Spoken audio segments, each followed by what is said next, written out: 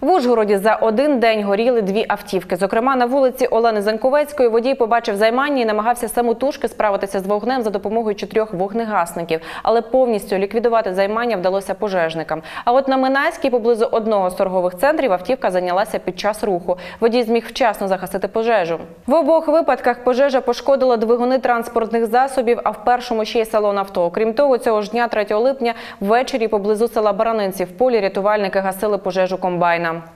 Відбулося загорання в моторному відсіку е, комбайну іноземного виробництва.